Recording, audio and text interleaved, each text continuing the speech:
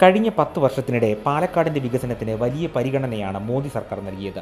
അടിസ്ഥാന സൗകര്യ വികസനത്തോടൊപ്പം വിവിധ കേന്ദ്ര പദ്ധതികൾ സമൂഹത്തിലെ വിവിധ വിഭാഗങ്ങൾക്ക് പ്രയോജനകരമായി. കർഷകർ ഏറെയുള്ള പ്രദേശമാണ് കേരളത്തിന്റെ നെല്ലറയായ പാലക്കാട്. പ്രധാനമന്ത്രി കിസാൻ സമ്മാൻ നിധിയിലൂടെ പാലക്കാട് ജില്ലയിൽ നിന്നുള്ള പത്തൊമ്പത് ദശാംശം ഒന്ന് ഒമ്പത് ലക്ഷം കർഷകർക്കാണ് വർഷം ആറായിരം രൂപ വീതം ലഭിച്ചുകൊണ്ടിരിക്കുന്നത്.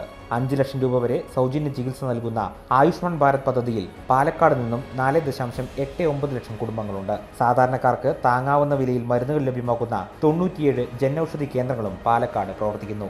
അമൃത് പദ്ധതി പ്രകാരം നൂറ്റി അറുപത്തിമൂന്ന് പ്രൊജക്ടുകളാണ് ആരംഭിച്ചത്.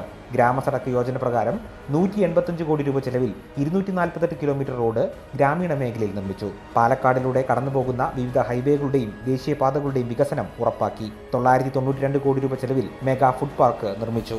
രാജ്യത്ത് പുതിയതായി ആരംഭിക്കുന്ന പന്ത്രണ്ട് ഗ്രീൻഫീൽഡ് ഇൻഡസ്ട്രിയൽ സ്മാർട്ട് സിറ്റികളിലൊന്ന് പാലക്കാടാണ് വരുന്നത്. മൂവായിരത്തി എണ്ണൂറ്റാറ് കോടി രൂപയാണ് ഇതിന്റെ ചെലവ്. എണ്ണായിരത്തി എഴുന്നൂറ്റി ഇരുപത്തൊമ്പത് കോടി രൂപയുടെ നിക്ഷേപവും അൻപത്തൊന്നായിരം പേർക്ക് തൊഴിലും ഇത് നൽകും. പാലക്കാടിലൂടെ കൂടുതൽ ട്രെയിനുകൾ അനുവദിച്ചും സ്റ്റേഷനുകളിൽ മെച്ചപ്പെട്ട സൗകര്യങ്ങൾ ഒരുക്കിയും റെയിൽവേ മേഖലയിലും വികസനം കൊണ്ടുവന്നു. എൽ ഡി എഫിന്റെ യു ഡി എഫിന്റെ നിസ്സഹകരണം കാരണം പല കേന്ദ്ര പദ്ധതികളുടെയും പ്രയോജനം പാലക്കാടൻ ജനതയ്ക്ക് ലഭിക്കാതെ പോകുന്നുണ്ട്. അതിന് മാറ്റം കൊണ്ടുവരാനുള്ള അവസരമാണിത്.